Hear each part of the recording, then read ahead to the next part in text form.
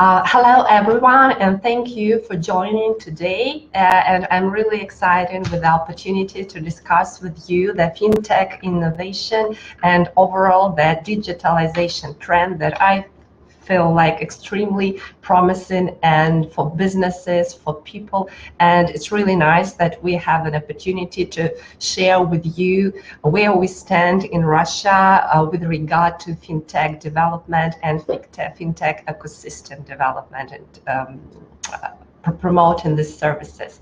Uh, let me introduce myself. Uh, I'm the financial market professional with a uh, quite long background uh, in working in different banking uh, in a financial institution in, in prominent banks of Russia, uh, in stock exchange, and uh, basically uh, also I am a visiting professor for the High School of Economics, uh, teaching the courses and disciplines on MBA and master's program such as corporate finance, portfolio management, uh, and a number of the strategic courses like operations management and strategy.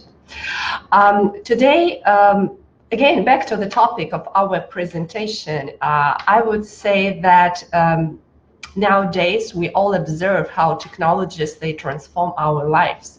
And we could see that there are enormous opportunities for business uh, to cut costs to establish and to build their really loyal customer base because there are new ways how you could interact with customers how you could uh, run your marketing campaign and be really close to your customers and uh, also the perspectives is quite fascinating.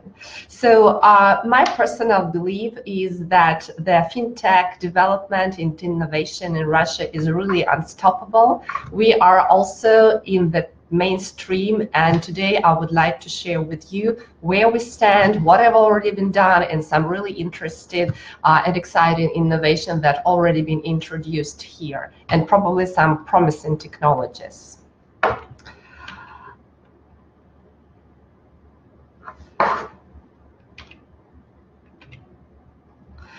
Um, let me um, announce the agenda. Uh, I'm quite ambitious uh, on the topics that I would like to cover today. Uh, of course, we need to lay the background where we stand on the global arena when we talk about uh, fintech innovations. Therefore, we will uh, consider a couple of the global market trends and what services are in demand on the global markets. Um, the development of the financial technologies goes in line with the government initiatives and supports. For instance, we may think about the legislation. They need to provide some background for development of such services because there may be many gray areas that a business may not appreciate because it's not safe environment. Therefore, the government needs to interfere. Uh, moreover, the fintech um, very often associated with the online services. And online means internet. So this is also about the infrastructure that should be established on the countrywide scale um, for instance, we may also think about the demand from the side of the customers and uh, financial literacy here is also plays really paramount role. Um, government initiatives that are aimed at increasing the level of the financial literacy of the citizens of the country uh, may really boost the development of the fintech uh, innovations companies and technologies. So we will spend some time on covering that. Um, then will be the most uh, tasty thing, I, guess, of our presentation when we focus on the really exciting initiatives that were really introduced and some projects that were launched.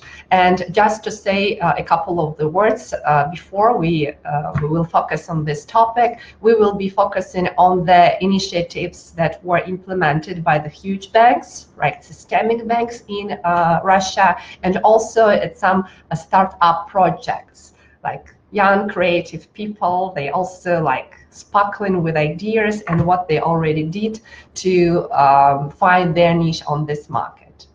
Um, for instance, when we talk about the uh, development of the financial system and any business, the ecosystem is paramount. So now there is no company that can now uh, function on its own without close links with the partners, with the governments, with the research institutions, with the research centers. And therefore, we will spend particular attention. Uh, what are the hubs and accelerators in Moscow that help um, to and that helps and support their financial startups to raise and even to uh, promote them on the international arena. And finally, of course, uh, it's nice to have vision what is expect into the future, and we will try to elaborate a bit what are the perspective of the financial services development in Russia, how fast they will be adopted by the population, and um, yes, which services will be the most popular. So this is the plan for today, and I'm keen to start. Uh, to start with, uh, I would like to make sure that we are on the same ground and we do really understand what the financial technology means. Uh, for instance, when we talk about the fintech and financial technology, technology, basically we start thinking about the business who promotes some services. In our case, these are financial services. Um, with the huge um, usage of the software and some modern technology. Um, this is a, a, really new sphere of how the banks and other financial institutions may interact with the customers because, and you, I believe, also, um, your life has become increasingly digitalized. So the way how you do business, uh, how you work, the way how you socialize, um, you spend most of your time online. So this is the new virtual environment who um, really is a nice and lucrative sphere for the banks to think in a bit different perspective about their customers and about the way that they can compete on this um, financial in this financial sphere. So, uh, for instance, uh, if we talk about the financial technology and innovations, typically we could present it um, using this nice diagram. Uh, for instance, the most popular services may be connected with the money transfers or some remittances remittances and uh, paying bills online. This is quite popular. Everyone is aware of them. Uh, also, um, one of the particular need of the customers is uh, the lending. It might be short-term lending, uh, or it might be more longer period lending, such as mortgage or buying the real estate property uh, that is also might be delivered this service online.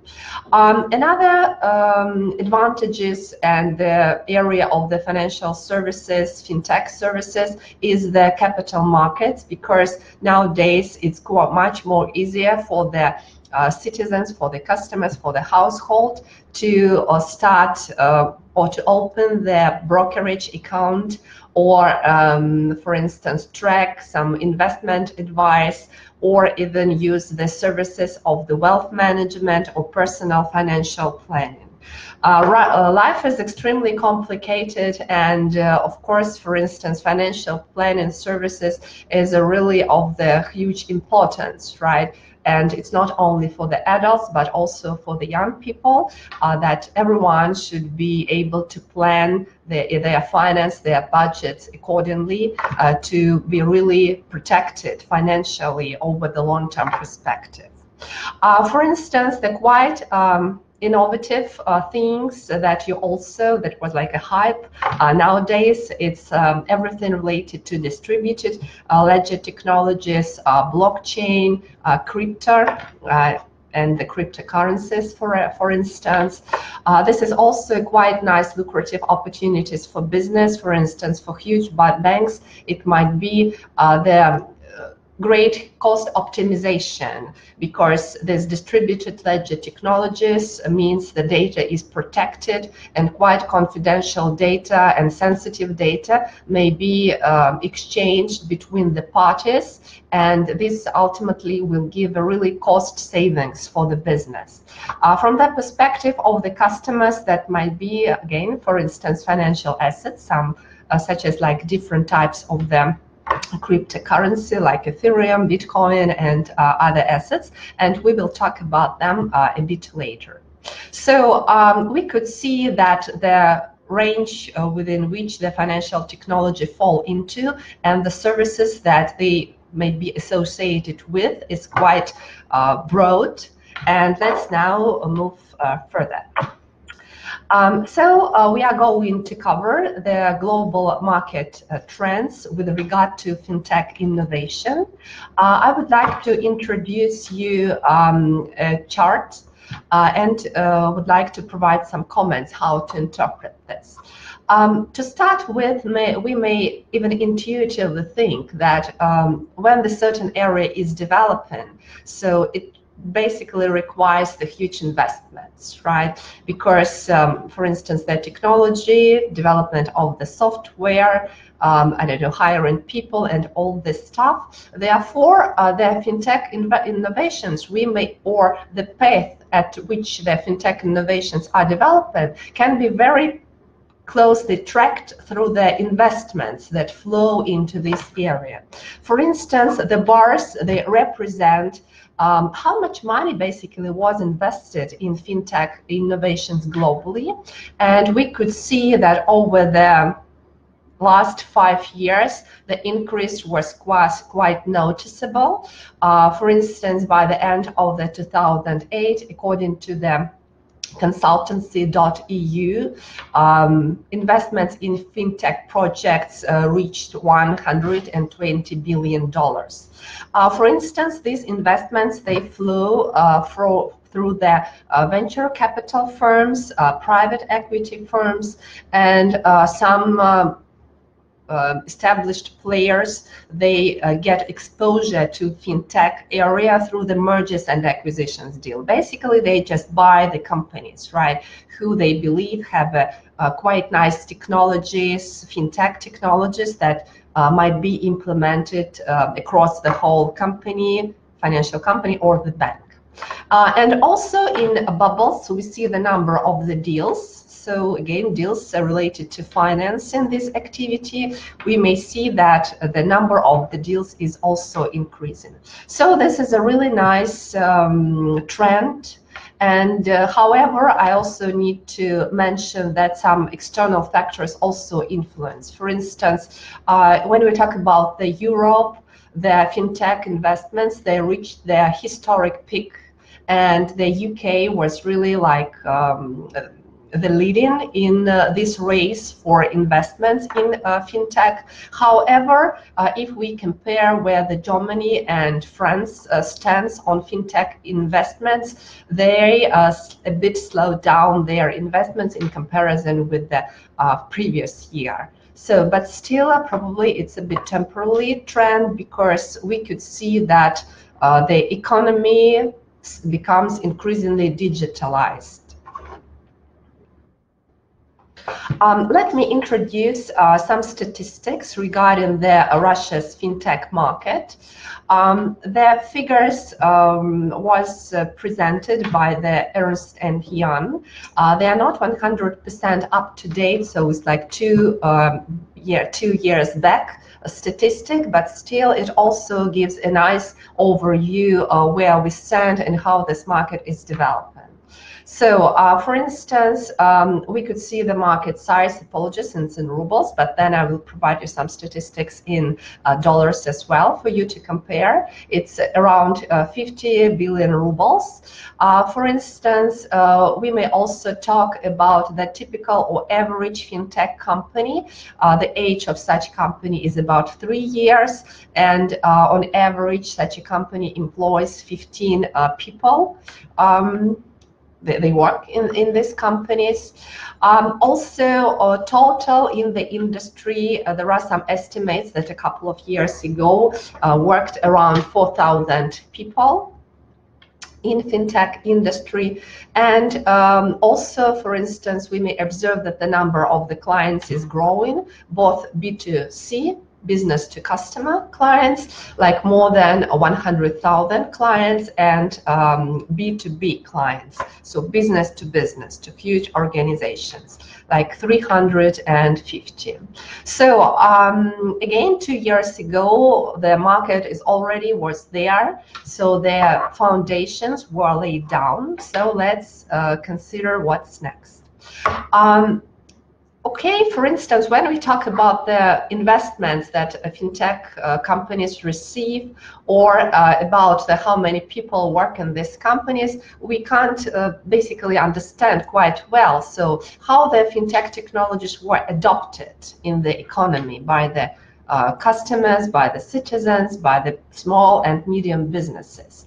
Uh, to answer these questions, uh, the EY uh, in 2015 developing a quite nice uh, index. It is known as Global FinTech uh, Adoption Index.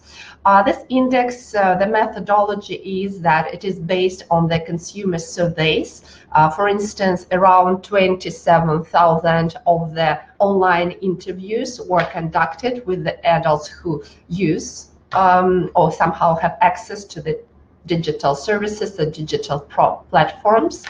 Uh, they uh, consider the uh, how, how, active these adults use the services. Uh, overall, they assess the 19 uh, services which fall into five categories. For instance, just to give you an example of the services that also were considered, it's um, online foreign exchange, um, it's if the customers um, or, or, this basically respondents use online only banking.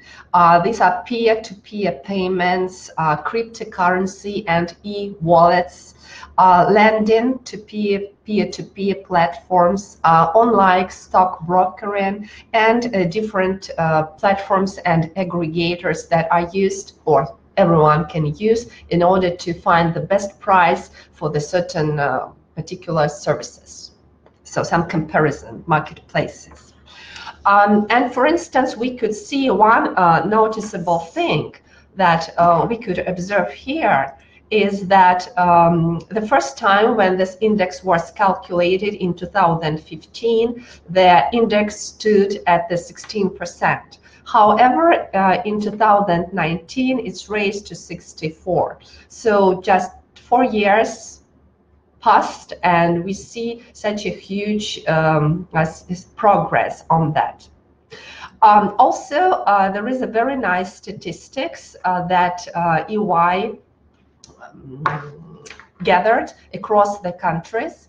Uh, for instance, this chart illustrates or different countries are ranged uh, according to their uh, adoption index and uh, from the countries with the highest adoption index to the least adoption index. And we can see that uh, on the top there is Russia, sorry, China, India, and Russia. And um, this index for Russia is quite high, 82%, in comparison that on average globally, the index is uh, 64%. So if you are interested in methodology, I strongly advise you to um, go to the website of the EY and learn more about how this index is calculated. But what it really shows is that this trend is really unstoppable and all the countries are involved and that some countries are more proactive in adopting and more quick in adoption the certain technologies and more responsive to the innovations that were offered by the financial companies and banks to their customers. So this is really nice uh, trend. Um, the fintech uh, innovations, as I said in the very beginning, um, should also go in parallel with some initiatives. Uh, at least we may talk about the legislation and fill in the gaps. Uh, for instance, one of the gap is what the crypto asset is, right? How to define it, what the token is. Uh, because in some jurisdiction there is no the good legislation in place. And this means that the business and customers are not 100% uh, percent, um, protected when they are involved in such uh, transactions and deals. And also, for instance, development of the infrastructure and for financial literacy is something that uh, maybe their okay, responsibility of the government, or at least it should it should be facilitated on the initial stage by the government. Um, now, I would like to talk a bit about the uh, government initiatives in Russia that speed up the fintech innovations. Uh, to start with, I would like to pay attention that uh, in Russia, the program, the Digital Economy National Program was developed and it has um, some priorities on, for instance, which the key idea was to improve the life of the people, uh, improve the way we do business, and uh, okay, create a really competitive advantages for Russian business and for Russian citizens on the global arena through the digitalization of the economy and the social life and increasing the efficiency. Therefore, uh, for instance, uh, there are a number of the initiatives that fall under umbrella uh, and uh, are one uh, are among the priorities that were set in this digital economy national program. For instance, uh, one of the priority is the rapid internet expansion. Uh, for instance, the ambitious goal was like by 2024, the internet coverage uh, and internet penetration rate should exceed or be closer to 100%. So we could see that 87% is a quite ambitious target and uh, many things have already been done on that. Uh, another key area is um, improve their financial awareness uh, about the financial service, about how to integrate the um, budget management and financial planning in the life of the ordinary citizens.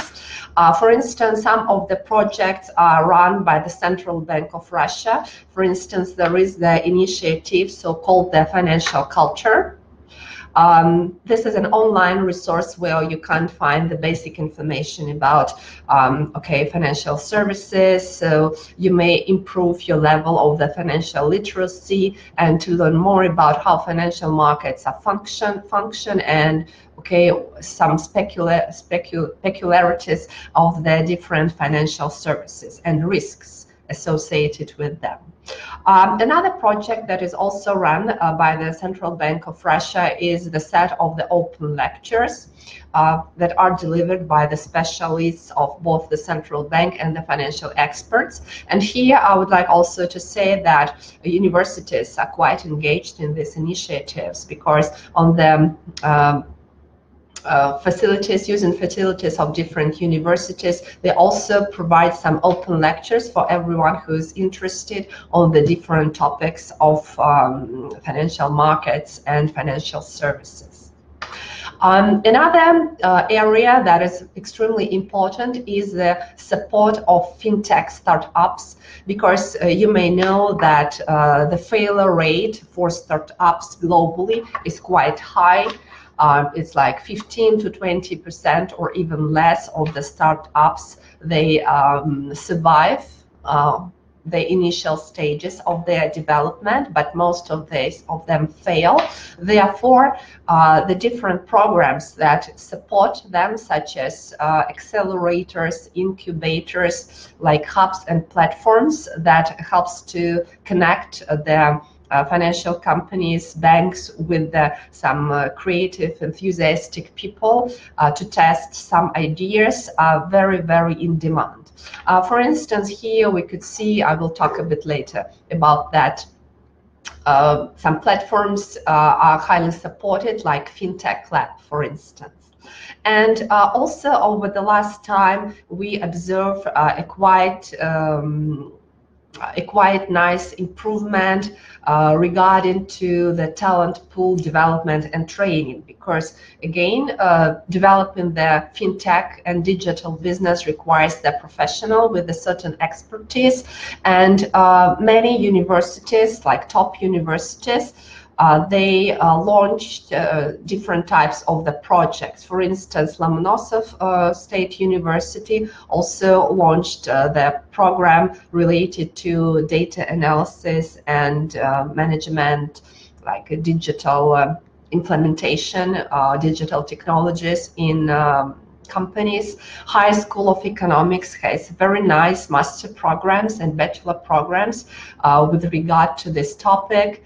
And uh, also there are some joint initiatives between the uh, um, physical or how to put it, about technical universities when they uh, partner with the top economic universities. And uh, on this uh, cross collaboration emerges the new ideas. Um, so we could consider that over the last time we observe a number of the programs, um, particularly based on fintech innovations and the digitalization of the economy were introduced by the top leading universities, both on MBA programs, master programs, and bachelor programs.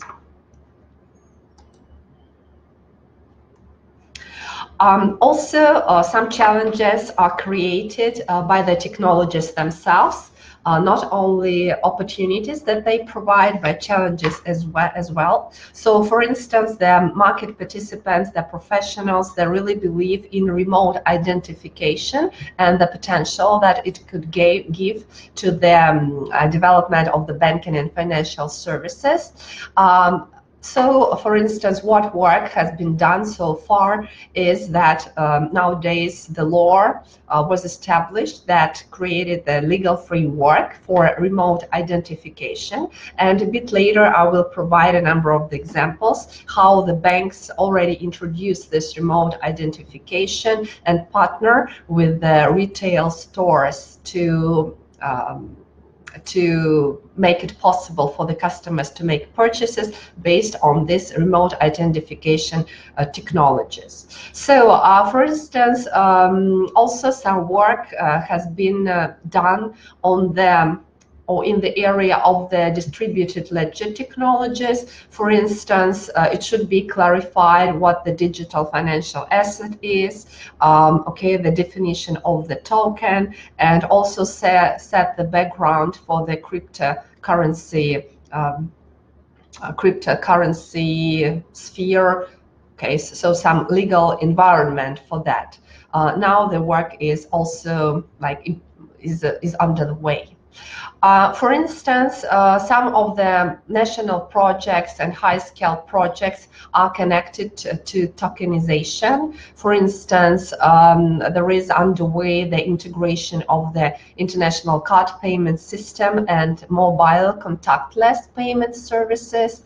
Uh, big data is also viewed as one of the key priority, and it is developed under the digital economy program that I mentioned uh, just a couple of the minutes ago. Um, also, I would say that the Central Bank of Russia has become a very prominent uh, player on the uh, fintech uh, environment.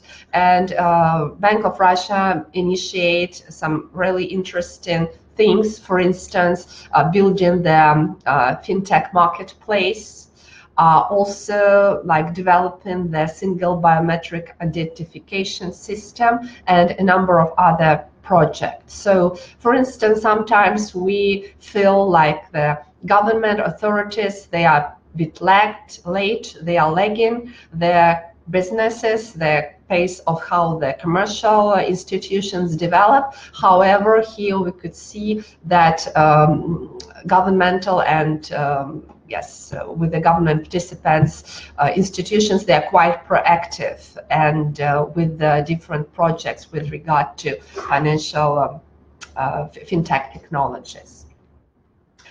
Um, it's very important for the uh, development of the in innovations that building the ecosystem and networking because it uh, gives the extra opportunities for I don't know, finding the right partners, finding the right people. Uh, and uh, one of the really huge scale conference that now start delivering annually is Finopolis.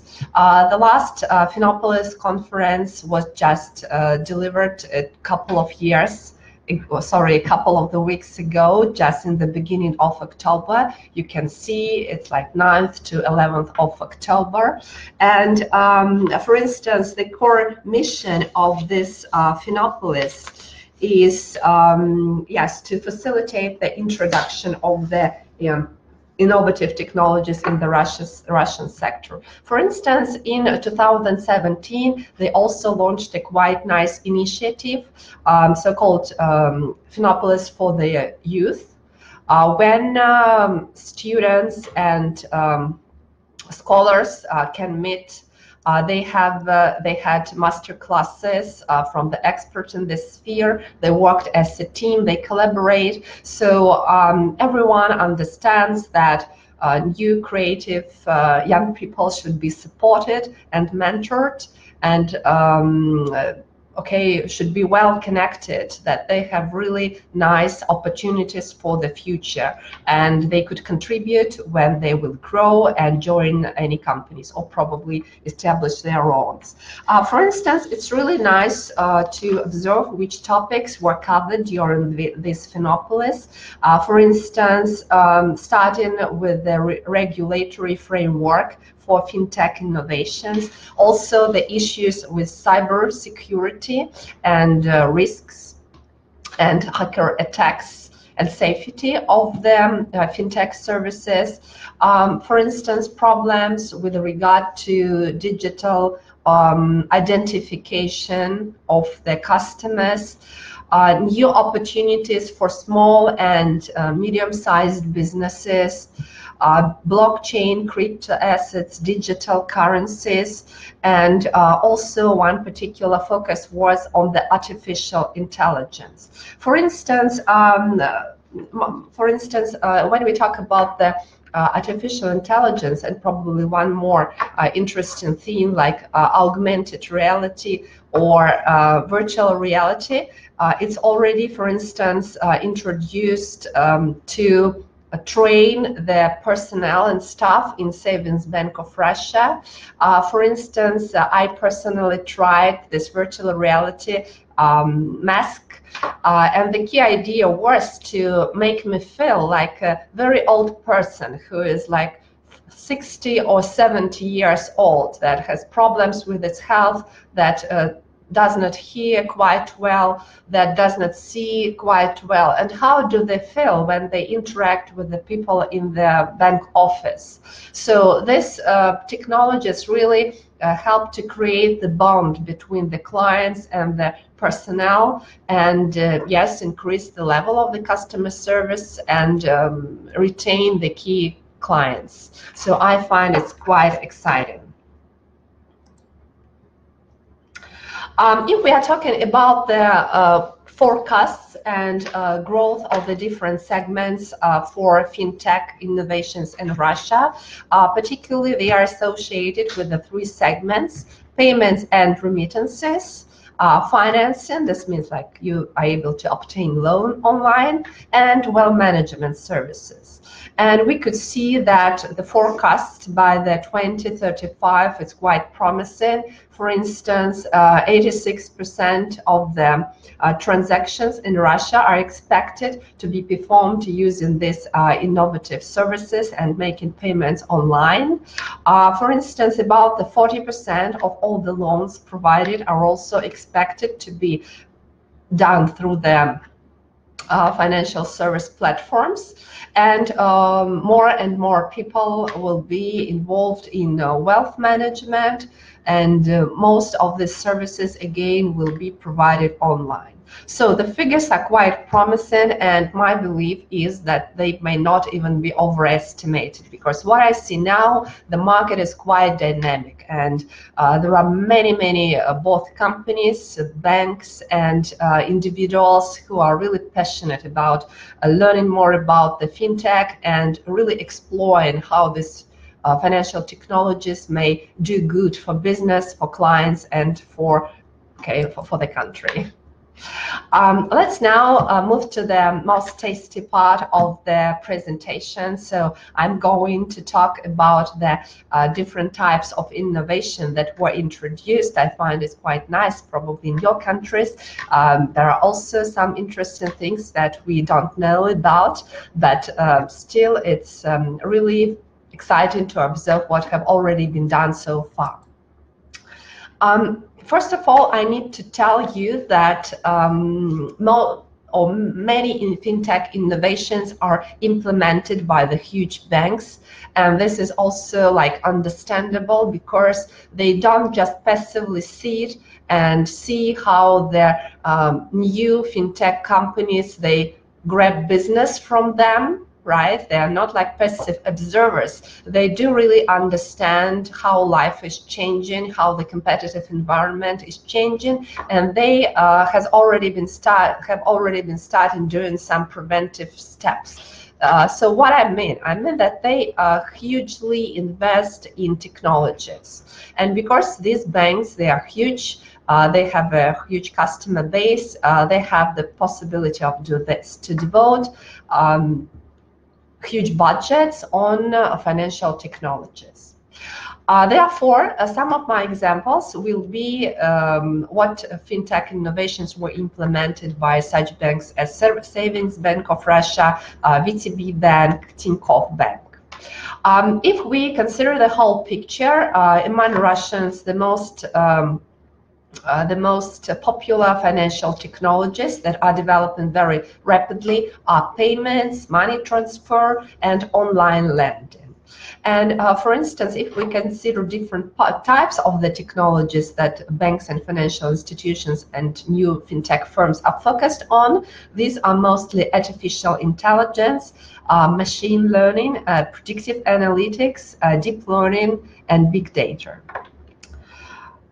Okay, so uh, let me introduce uh, the online-only bank, uh, Tinkoff. Uh, this bank does not have any um, brick and mortar branches in um, in Russia and basically uh, in other countries in the world. Uh, however, it's quite um, it's quite success sorry it's quite successful business model that uh, proved itself to be viable over the uh, years that uh, it uh, like operates on the market. Uh, for instance the nice trend is that you already know such assistants as um, okay okay google or alice or editor, some other assistants that can help you navigate your iPhones or some other devices. And here this technology uh, is used and the Tinkoff introduced so-called the personal assistant Oleg. So hi, Oleg. Um, it is believed to be a man, uh, aged somewhat between 25 and 40. And the, um, okay, so functionally what this assistant can do, uh, he can recognize the customer using by biometric data, for instance, voice identification, uh, of course, the recognition of the different user comments. Um, so um, asking follow-up questions to clarify what should be done. And of course, uh, also, for instance, here we could see that um, it's also speaking on the variety of topics.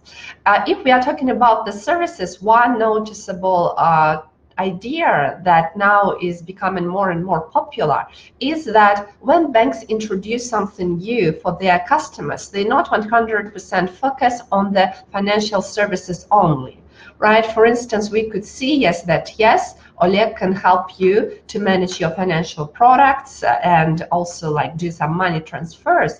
But also the huge part of what uh, of uh, his service that he may offer to the customer uh, is connected to the lifestyle of the customer. For instance, to make uh, the life of the customer easier, not from the financial perspective, but some, uh, okay, day-to-day -day life um, restaurant reservation, book beauty salon appointments, buy cinema tickets, search for discounts and products.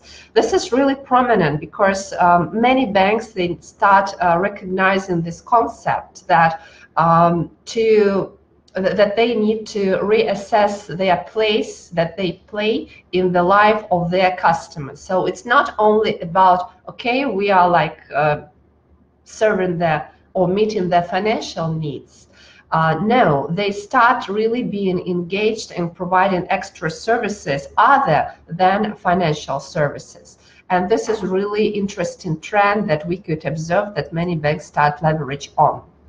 Um, for instance, another initiatives of the Tinkoff Bank is that they try to hook the customers um, based on uh, their engagement on the social network um, environment. For instance, uh, one of the services that Tinkoff Bank provide is uh, the brokerage account that you can open. Uh, basically, yes, as a client, you can open the brokerage account to get an access to the stock exchange and make some deals, um, buy and sell stocks. And for instance, it is possible to do this from the uh, mobile application Tinkoff Investments. And one of the interesting uh, additional thing uh, for this uh, Tinkoff investments is that they also introduce the opportunity to socialize, to meet traders, uh, to follow some investors, to communicate with each other and discuss travel idea, or sorry, trading ideas, and even um, okay, make new posts. Uh, for instance, we could see that everyone now is fancy about the, okay, be like a social um, exposed. Uh, I mean, like posting some photos on Instagram or Facebook or some other social platforms. And they also use this as a nice marketing um, trick, I would say, that uh, they um, provide the opportunity for their uh, investors to post photos and video functionality and also uh, being engaged in some uh, gamification right? This is also very powerful for attracting customers. When for quality contact, they may get some bonuses or some really nice uh, perks uh, from the bank. Um, I would like also to provide you some statistics with regard to uh, how this model works uh, for Tinkoff. I mean, um, Tinkoff Investments mobile apps. Uh, for instance, there is a really stunning statistics that the Moscow Stock Exchange uh, last year acquired 700,000 clients and around 300,000, just okay, roughly one third or even more than one third, uh, were coming to the Moscow Stock Exchange through the Tinkoff Investments application. Um, also, we, uh, for instance, um, there is the statistic that one in three accounts on the Moscow Stock Exchange was also opened through this Tinkoff Investments mobile app.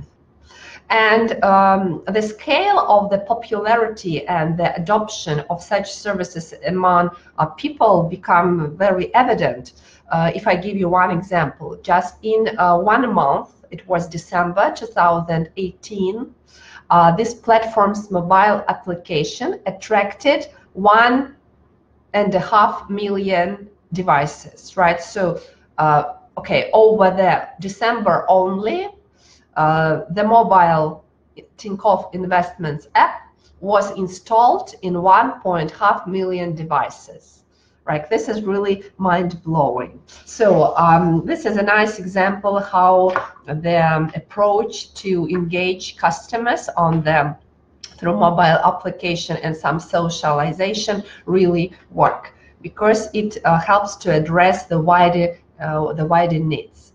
Um, particular opportunities, uh, financial technologies they provide and innovations they provide for small and medium businesses. And some banks they start uh, exploring this field.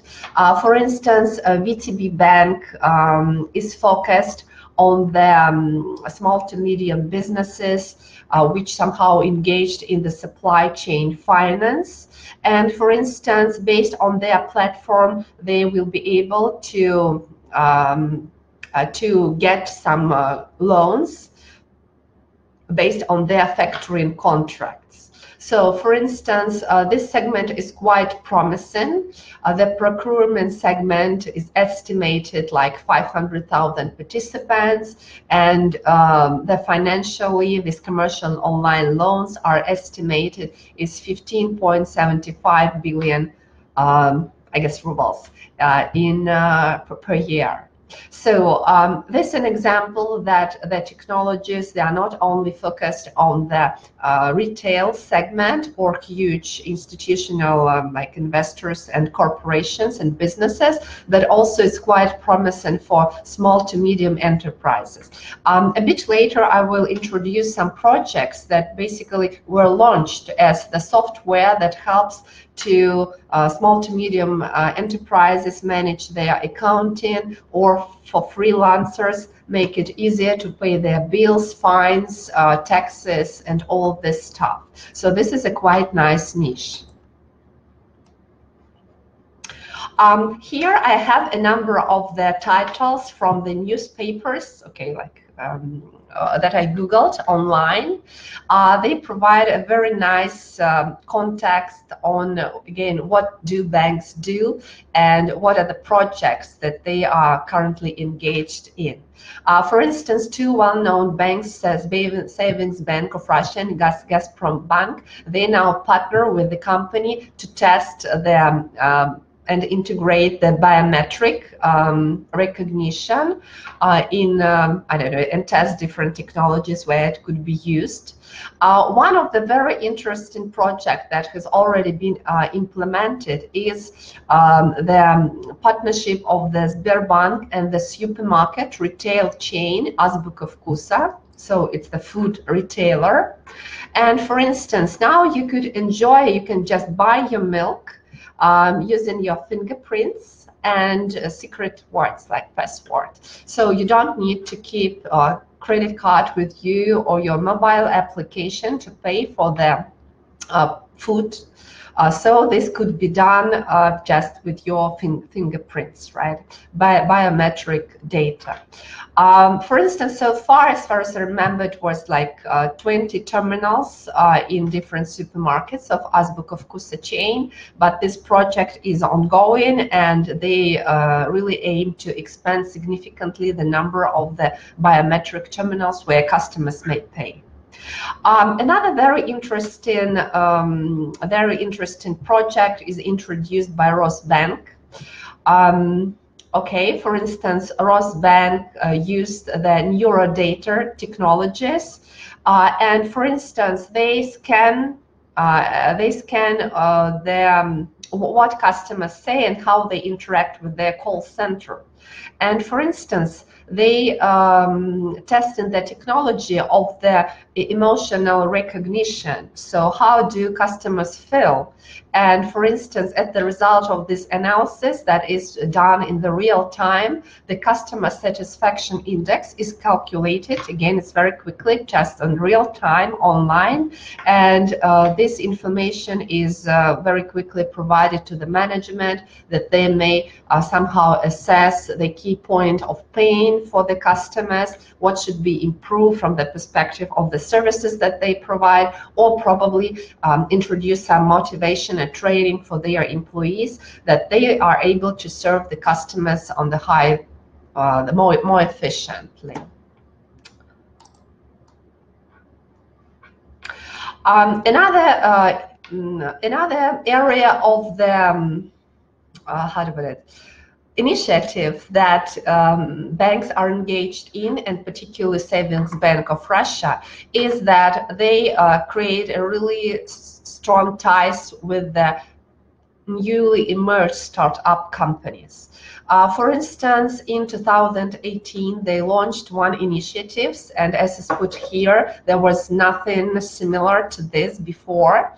Uh, when Sberbank partnered to um, global company 100 Startups, and they launched the program where through this program 25 strongest team uh, which are focused on either fintech e-commerce uh, cloud b2b services big data um, virtual reality artificial intelligence blockchain and some other projects. They were selected. Um, they were provided with the funding uh, for instance, on average, each startup received $145,000. And also, uh, they had a really nice opportunity to um, communicate um, okay, not commu to, communicate with the industry professionals, to be taught and um, in, be engaged in the master classes.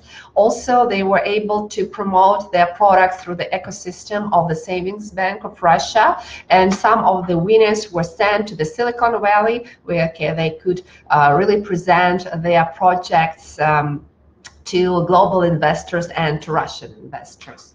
So um, through these initiatives, the the Sberbank basically also looks for some new lucrative ideas that could be implemented across the whole bank. But also, this is a really nice, um, uh, a really nice, uh, um, how to put it, um, initiative that um, boosts uh, the development of fintech companies and stimulates and motivates creative people. So this means that we could see demand from the even established market participants for new ideas. And for young uh, people, this is a really strong motivation that they should, okay, do their best, um, come up with ideas and probably they will if idea is nice they will be able to get some support from either market participants or government or some really established um, players on the market. This is really motivating.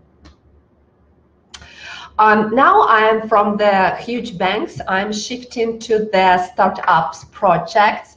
And uh, for instance, um, as an example, I would like to introduce the company, uh, which the name is the the Way.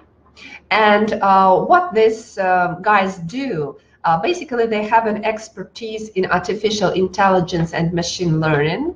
Uh, they also are experienced in aggregation of the lives of life, lifestyle data on the customers. And also they do lifestyle analysis and behavioral psychology. I would say that they are quite, um, uh, quite, um, how to put it, successful in identifying the right trends. Because, uh, for instance, here we could see that the starting point of promoting banking and financial services is not to uh, promote banking and financial services. Uh, they're really uh, reassess the approach to uh, approaching the customers and they start with engaging uh, with customers uh, based on their understanding their lifestyles their priorities their needs other than financial needs.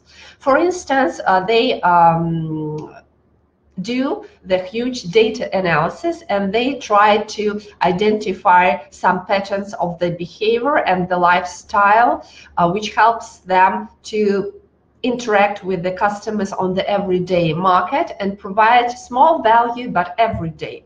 For instance, there may be some uh, personalized stories. Um, there may also be where to go ideas, uh, shopping ideas, best price the most interesting place to go are some emotional introduction and emotional talk because even in spite that um, okay the world is overcrowded sometimes we feel really lonely. And this is also a very strong point to engage with the customers to yes to start just talking with him. And uh, also yes some uh, heroes some role models that uh, the customer may be really interested in so, for instance, this um, approach really brings the banking and financial industry um, upside down. For instance, we could see that the typically uh, we may talk about the doing banking as usual. It's like the using standard data on the customers, what they pay, how they pay, uh, and okay, how much money do they keep on average monthly on their account and so on and so on, how regularly they receive their salary and they keep that on the account for how long, and try to provide just standard banking services. But then uh, the concept is moving through the really like behavioral banking. And for instance, we could see that the um, really breaking through approach and business model if you start understanding and gathering information uh, not about the financial patterns of the behavior but also like understanding the life code or DNA of your customers. And this will help you to be connected with this on with the customers on the daily basis right? So here the lifestyle advices come first and money management second uh, also, key pillars are emotional and proactive talk and micro value every day. So this is really, um, I would believe in this concept that engaging with the customers can provide the real huge perspective in competition and winning your customers uh, because it helps like really not just to target and promote the financial services but really incorporate the financial products into how the people okay live basically right? How they make their decisions what they need what are their plans for the future what do they need every day. Um, now we talk uh, we move to the uh, a couple of the examples of the different startups in moscow. Uh, for instance, here we could see that it's around by the August of the 2018, there are about 200 tech startups in Moscow. Some of these companies you already know, such as Kaspersky, well-known um, company that provides security for the software and some other services. Ozon is a retail online shop uh, Citymobil, um, car service, uh, ivi, streaming videos, and uh, some retailers like Kupivip and Lamoda, and Car Price, uh, okay, the auction for the cars. So, but these are not fintech companies. Uh, however, uh, again, by the uh, summer of the 2019, we we may talk about uh, around 288 fintech startups. Uh, most of them are based in Russia, but sorry, based in Moscow, Russia, but also uh, some of the startups uh, more and more they emerge in some other regions because in so-called the special economic zone that provide them uh, special environment, um, tax releases, and um, some really nice opportunities and connections to do business there. Uh, for instance, just to not to uh, spend much time on covering the business model of each startup, I just outline what the niche they uh, focus on. For instance, uh, my business uh, is the online accounting for small businesses, which really helps um, the small businesses to manage their financing. Uh, also, very popular is Pay QR. Uh, this uh, mobile application helps to drop some intermediate steps and make your purchase experience more streamlined and quicker, basically just based on the scanning your QR code of the product. Um, also, for instance, um, some solutions that are based on the prepaid card without opening bank accounts. And uh, for instance, when you could um, obtain loan very quickly doing this online. For instance, also uh, many or some of the fintechs are focused on the microfinancing market. And uh, for instance, online uh, solutions, they provide really um, nice opportunity because they could be uh, connected with the companies who uh, perform scoring for the, their clients. So they may, in online, they may uh, quickly assess and assign their uh, credit ratings to the particular individual or business. And this information could be, again, quickly um, transferred back to the uh, company who provides these online payday loans. And this um, again, the uh, process of the approval of the loan becomes very quickly. Of course, as for the micro loans, it's a bit tricky area because uh, some social issues involved in that, like um, really huge amount of the burden, and that not uh, many customers are financially literate. And therefore, uh, there is some legislation that also is introducing to protect customers against uh, being really much in debt. Um, another uh, examples of the fintech startups are Car Money. Uh, for instance, they focus on if you have a car, you can again obtain the loan online uh, based that you like an owner of this car very quickly. Some of their companies, they focus on the decentralized protocols for application development and token management, or uh, they also develop blockchain platforms um, and create like even open platforms and uh, such kind of the solutions which address this new uh, trends in uh, cryptocurrency, uh, open IP technologies, and some other stuff. And Anna, for instance, this is a solution for freelancers or small businesses, which helps that is uh, really accessible via mobile phone and it also helps to manage uh, the finance of the small business in a quite efficient way. You could see that some of this, uh, the, all these startups, they got a quite nice financing and funding from the private equity firms and uh, some accelerators and investors. So um, this means that they've proven that ideas uh, that they represent is viable.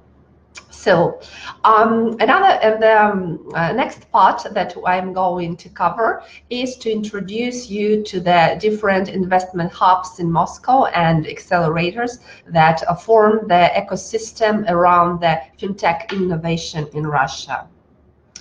Um, first of all, uh, we need uh, to uh, pay or we need to recognize the role of the government and basically the Moscow government in what they do to make the Moscow really smart city. Uh, for instance, um, the, the, high level of the adoption of the fintech services may also um, be uh, because of the rapid development of the electronic government services and the huge in, in inclusion of the different uh, social groups in using uh, the services online. So, uh, for instance, from the uh, what has already been done by the government of the Moscow is that first of all it's invest hugely in uh, city improvement and innovation. So you could see how much dollars uh, were already invested.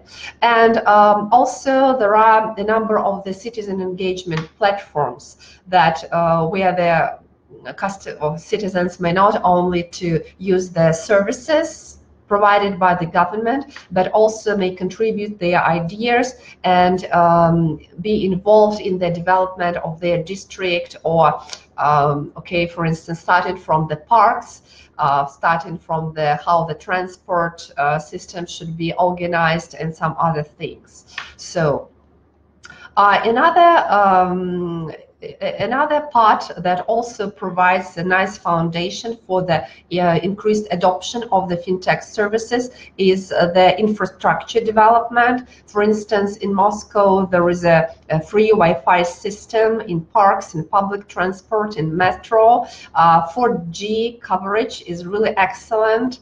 And uh, also we may talk, as I mentioned before, the really high scale of uh, automation uh, and basic social service facilities. You could get an access and do many things online. The um, digital wallets are quite um, popular and are used. And for instance, some technologies are used to uh, manage the, for instance, public transport in a more efficient way. So it's like um, sensors, uh, GPS navigators, and some green initiatives and okay park zones. So uh, the technologies are now uh, introduced non, not only in fintech sphere but also like across the all areas that basically may require such technologies and where efficiency could be improved. Um, for instance, Moscow is quite rich and could be really rich from the perspective of the uh, industrial complexes and technological parks. For instance, we could see that um, 40 industrial complexes has already been built and uh, 33 technology parks. Uh, one of the example is uh, Strogino Park, Nagatino Park, a couple of the others. So these parks, they uh, provide the place for innovation. Again, not only fintech innovation, but in different areas. Uh, for instance, some parks, they test uh, the driveless uh, buses and cars. Um, other parks or initiatives that were uh, projects that were launched there was like uh, the wounds uh, where the new technology how to cure wounds like four and uh, three, four times faster than traditional way. Um, some parks, um, what they the, the projects they hosted, for instance, this development of the special uh, coverage for um, Moscow bridges, for uh, some uh, buildings, which helps to protect against the graffiti, against the bad, bad weather, and against some um, advertising posts uh, but of course, the key role in the innovation uh, belongs to Skolkovo um, Institute of Science and Technology. Uh, for instance, now Skolkovo hosted uh, hosts more than uh, 100 and uh, 1,800 resident startups. Uh, the areas are quite diverse, starting from biomedicine, IT, uh, space, energy, nuclear technologies. the grants may be provided up to $4 million, quite significant amount. So the startups, they enjoy their certain uh, tax um, uh, exemptions uh, and also for instance they uh, receive the constant and uh, mentoring and consulting services from the Skolkovo Foundation. Uh, also, I should mention that uh, startup initiatives are supported widely in the different universities of Russia. For instance, uh, well-known universities like High School of Economics uh, has business incubators like residential programs where the High School of Economics provides the uh, open uh, working spaces and assistance from some professionals for startups. Um, also has High School of Economics goods uh, this is like more support oriented on projects which are aimed at uh, solving some social issues and business projects. And for instance, we could see also that um, uh, High School of Economics, Business and Incubator is also participated in some um, competition, international competition, and were ranked the seventh in uh, the world ratings in uh, 2000. 2008. Um, similar incubators were launched in uh, University, Moscow State University, some technical universities. So, uh, and for me personally, being a, like a professor in university, I would like to say that uh, students are so motivated, so engaged, and they are so um, enthusiastic about testing new things, discussing new ideas. So it's really nice that uh, within the university they may uh, get some support from their mentors, advisors, supervisors, and also professors, and they may work as a team. Um, also, um, the accelerator and uh, fintech investors, venture investors, uh, they um, select the projects, some potential projects for their investments. For instance, Internet Initiative Development Fund uh, offers some accelerated pro programs and provide uh, financing. Uh, some of these accelerators, they provide platforms uh, for, uh, okay, where the uh, fintech startups may um, picture themselves, they may um, somehow promote themselves and um, and also prove that their idea is viable and to talk to investors. And the last one, uh, we are closer to the end uh, to think a bit about the future and the adoption of the fintech services uh, in Russia and what uh, potentially we may lead to.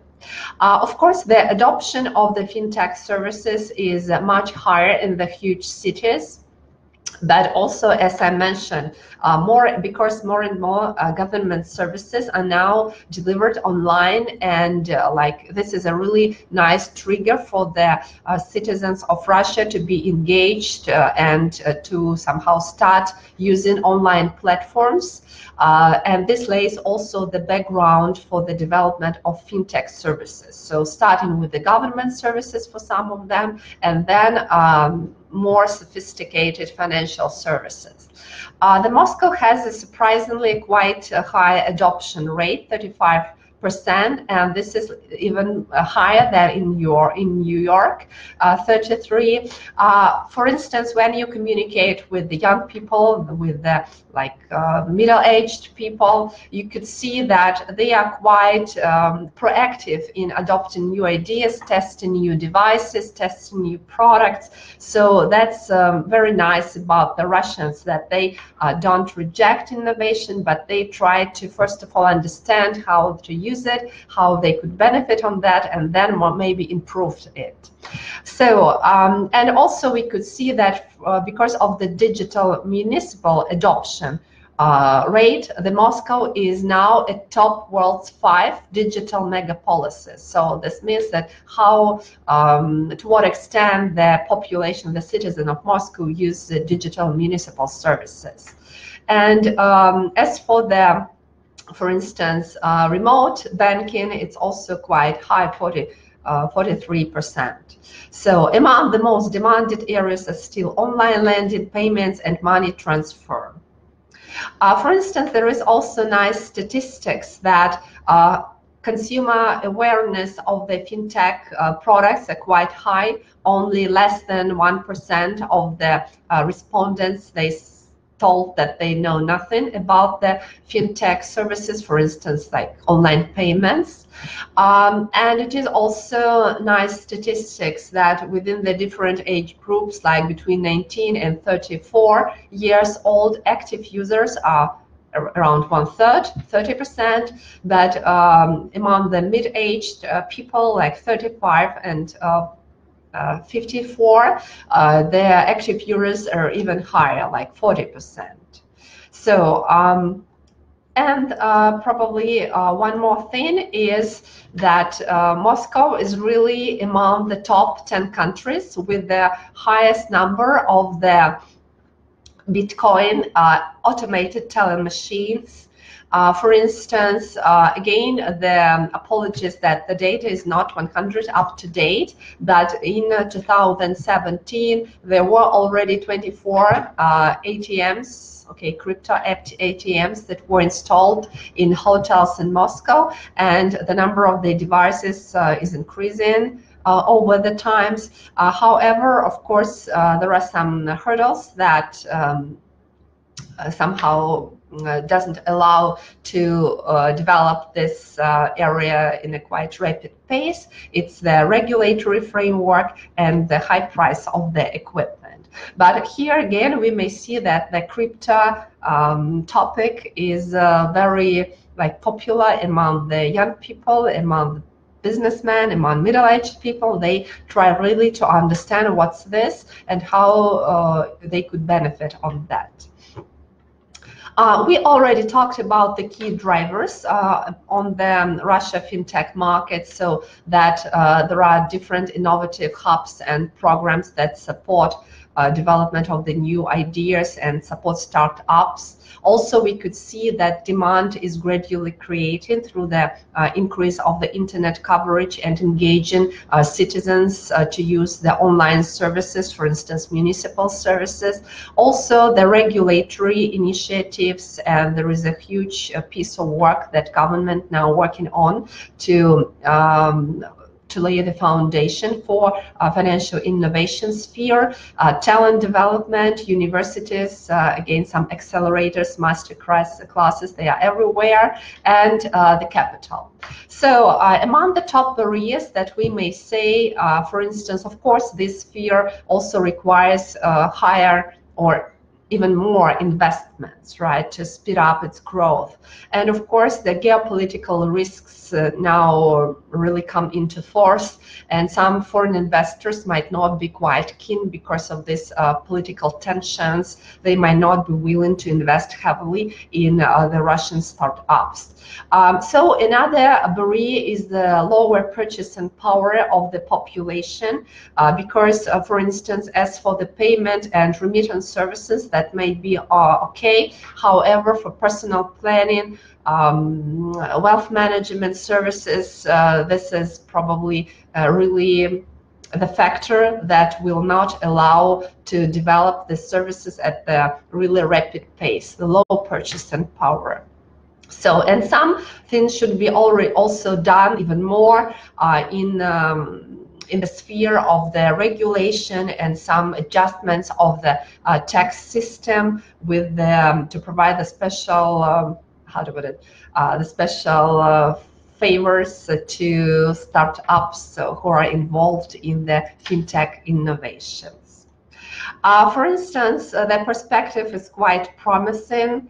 Uh, for instance, by 2035, it is forecasted that uh, the volumes of transactions in US billion dollars were really significant, right, in comparison with the 2020, so very rapid uh, growth.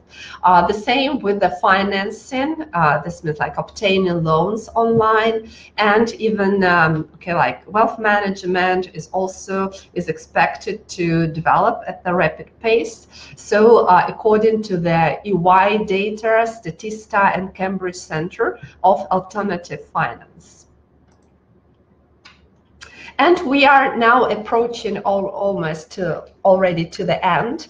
Uh, for instance, in the end, I would like to um, familiarize I'd like to represent you the results of the survey that was uh, conducted by the Higher School of Economics Institute of Statistical Studies and Economics of Knowledge uh, and also the Banking Institute of the National Research University. So uh, what they did, they asked the respondents the questions. So what do you believe? What um, are the potentially uh, potential areas, what should be the future of the fintech development? What are the most promising technologies? And for instance, uh, 32, 52% of the respondents, they really stress the importance of the development of the um, unified system of the identification for clients.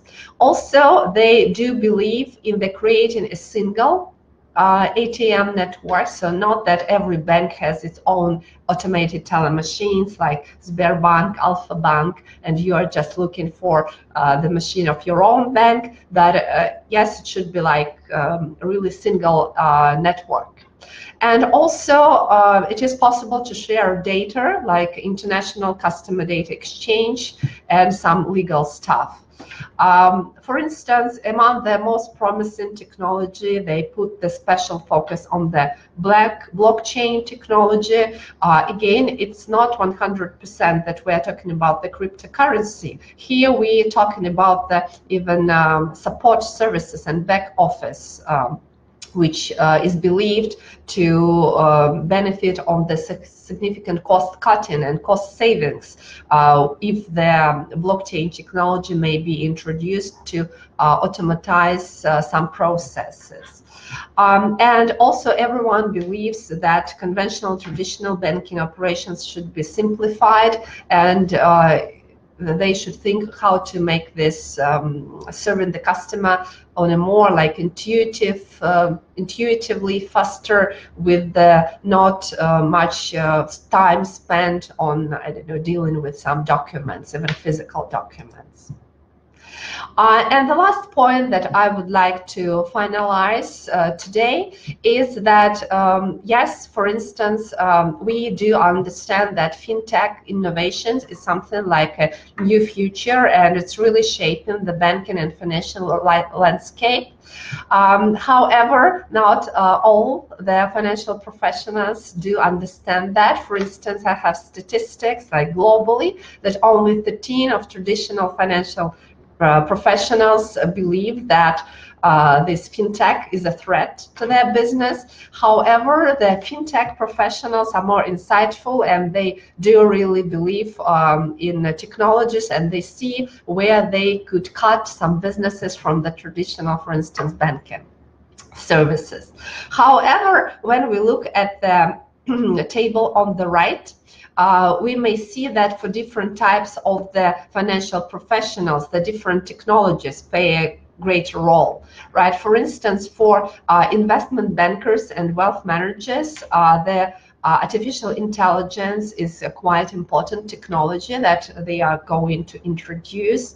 Uh, for wealth management, the robo-advisors is also paramount because of the heavy regulation. They suffer huge costs and uh, robo-advisor technologies could really help them to save uh, much money. Uh, also for retail bankers, like digital, providing loans digitally or online and all this stuff or technology is viewed as the quite important. Okay, uh, whenever uh, you are consider yourself to be a fintech professional or bank professional or I don't know just uh, business. Um, I really engage. I really how about it. I really encourage you to think about the future and to learn more about financial technologies and innovations and probably uh, how they could be implemented to plan your uh, financial life uh, in a proper way and uh, what good these technologies may do for your future business.